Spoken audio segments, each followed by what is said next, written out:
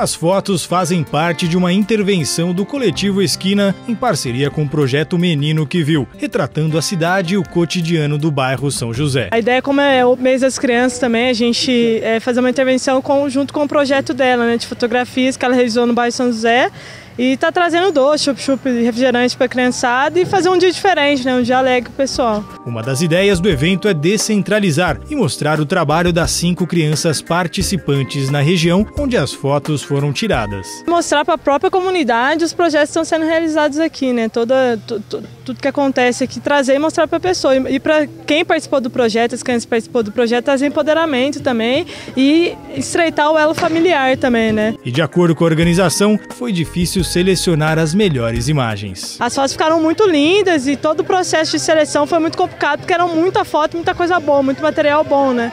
E aí deu até uma dorzinha no coração de deixar algumas coisas do lado, assim. As fotos foram realizadas ao longo do projeto Menino que Viu, organizado pela fotógrafa Luciana Faria. O projeto Menino que Viu foi idealizado para direcionar as crianças atendidas por lares de apoio e para ser feitos no bairro onde elas vivem.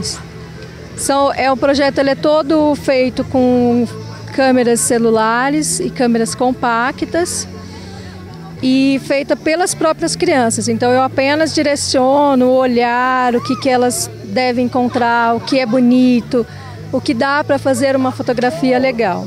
Os jovens fotógrafos captaram detalhes que passariam desapercebidos na correria do dia a dia. A criança passa às vezes várias vezes pelo dia e ela não não tem essa percepção de que aquilo no bairro dela é bonito. E às vezes a gente acha bonito que é do bairro do outro.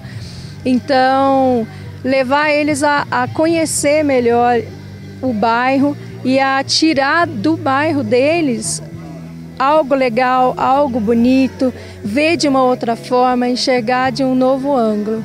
A fotógrafa ficou surpresa com o resultado e pretende repetir o projeto em outras ocasiões. Foi surpreendente, eu fiquei muito, muito feliz dá para ver pelas fotografias que ficou muito bacana, foi satisfatório e a alegria deles também, né, de estar tá vivendo aquilo. A coordenadora do Lar Criança Feliz disse que a experiência marcou os jovens de 11 a 13 anos que participaram da iniciativa. Levou para eles uma forma de ver a arte dessa forma de expandir o olhar deles, né, através da fotografia, o olhar com o próprio bairro e com outros pontos da cidade. E assim como os organizadores do evento, a coordenadora aprova uma nova edição do projeto Menino que Viu. É uma experiência muito boa, é, de conhecimento mesmo para todos que participaram e agora a gente quer que continue para os outros adolescentes, as outras crianças terem oportunidade também de estar participando.